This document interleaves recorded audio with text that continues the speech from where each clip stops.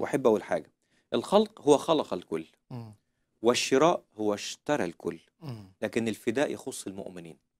فمثلا في مثل الكنز المخفى في حقل يقول إنه وجد كنزا مخفى في حقل في متى 13 فذهب وباع كل ما له واشترى مش الكنز لكن. اشترى كل الحقل الحقل مع إنه هو عايز الكنز لكن. اشترى كل الحقل المسيح اقتنى الكنيسة. بالفداء لكن أيضا بالشراء اشترى كل العالم فالرسول بطرس يتكلم عن المعلمين الكذبة. يقول. ينكرون السيد الوحيد الذي اشتراهم. حتى المعلمين الكذبة اشتراهم. آه دفع ثمنا لامتلاك كل العالم بالدم. فاشترى كل العالم بالدم وده من مؤهلات المسيح وحيثيات سيادته على العالم في المستقبل عندما يسود على الأحياء والأموات لأنه اشترى بالدم.